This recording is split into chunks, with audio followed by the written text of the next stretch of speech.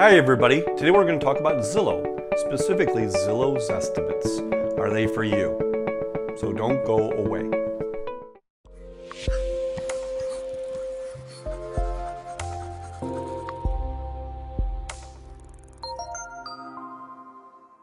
Hey, welcome back. So we're talking about Zillow, the big Z, Zillow and estimates.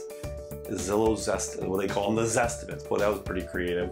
Anyway, uh, we're gonna we're gonna dive into a little bit. Are they for you? So, in this crazy market that we're in, with home values skyrocketing and not a lot of inventory out there, uh, a lot of people, including myself, what is my home worth?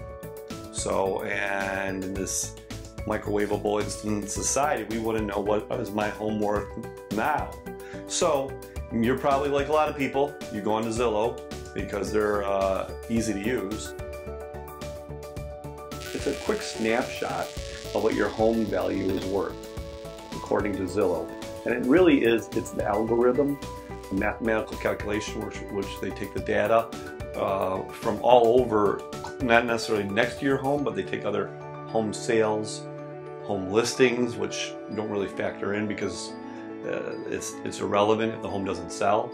So they look at that and they, get, they come out with a range of what your home is worth. And so it may be for you if you're just looking, you want a quick snapshot in this instantaneous society that we live in today and you just want to know what your home is worth.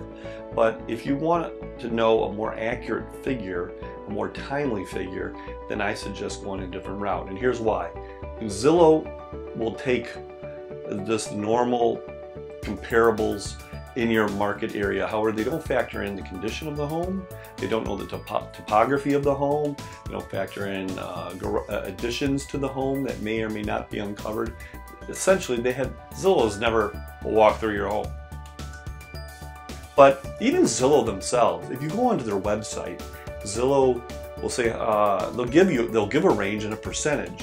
So, like in the Metro Detroit area, they'll say that there were within 80% of the value for five, you know, within 5% of the value for all 80, 80% of the homes in the Detroit area. Well, 5% swing in this market can be huge.